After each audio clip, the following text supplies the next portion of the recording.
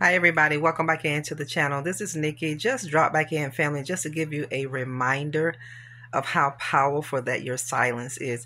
Your silence is so powerful, family, and it's the greatest revenge that you can give anybody. You know, don't take matters into your own hands to do something that's not so nice because we're all going to have to pay for everything that we do.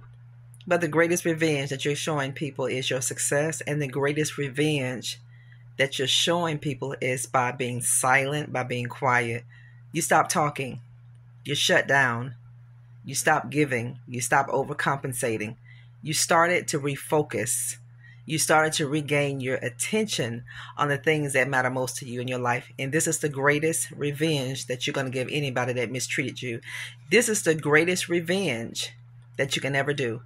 Success, when you succeed, this is the greatest revenge when you ignore people that have harmed you, when you ignore people that have done so many nasty, horrible, detestable things to you, when you ignore these people, when you show these people that you're not going to participate in their negativity, when you show these people by ignoring them, by being quiet, by going within, by redirecting your focus, by rechanneling all that negativity into your vision and your goal and your purpose, this is the greatest revenge.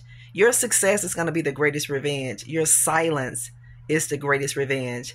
By you not talking, it's the greatest revenge to any person that would do their best to bring you down, family. This is great whenever people ignore you. It's good, family, because this is another way that God would cause us to get back on the right track. You know, sometimes it's so easy for us to get off course, and this is a way that God would chastise us with that rod of correction through mistreatment. Gotta take anything family. He'll do anything because he loves us so much to get us back onto that place to correct us. The greatest revenge is when you were quiet.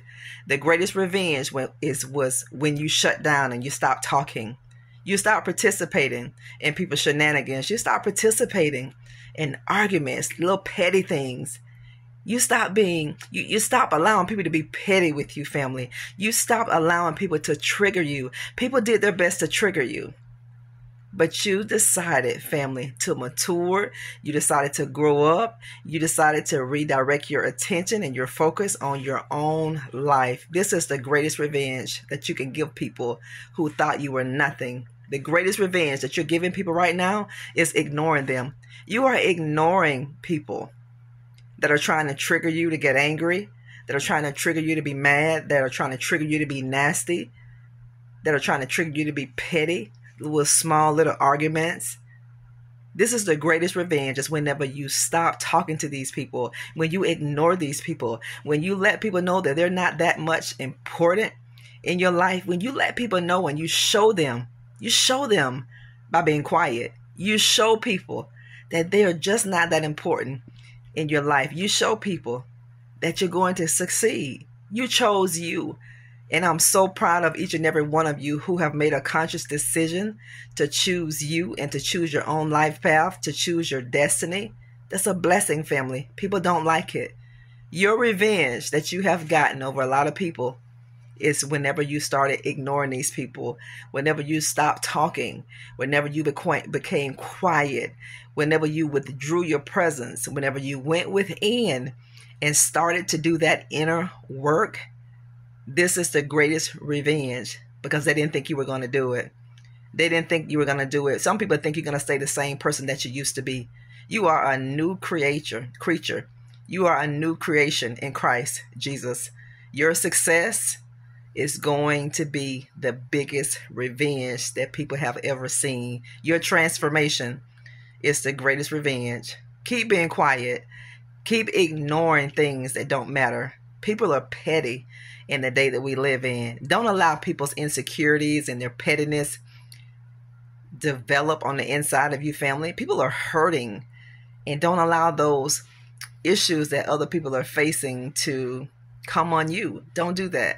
The greatest revenge, don't ever forget this the greatest revenge to a covert narcissist, the greatest revenge to a narcissistic parent, siblings, family members, narcissistic friends, the greatest revenge that you can ever give anybody is by being successful, by doing the inner work, by healing, by ignoring them, by withdrawing you away from them and focusing and redirecting all that positive energy, family, all those positive emotions, and put it right back on you. This is Nikki, family. It's good to be in your home to give you some enlightenment. Don't take matters in your own hands. God said vengeance belongs to Him, and He's going to repay all of us according to what we've done.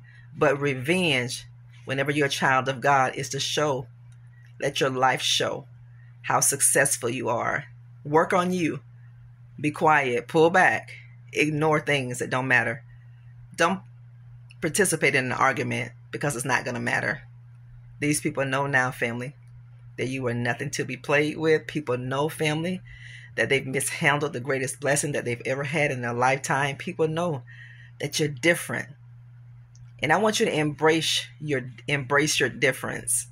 You know, a lot of people will try to make you feel indifferent because you're different. As a child of God, whenever you're truly born again as a believer, God said you are from a royal priesthood, a chosen generation. He said you are a peculiar people that means you're going to be strange and awkward to people who are not of God's fold. And it's supposed to be that way.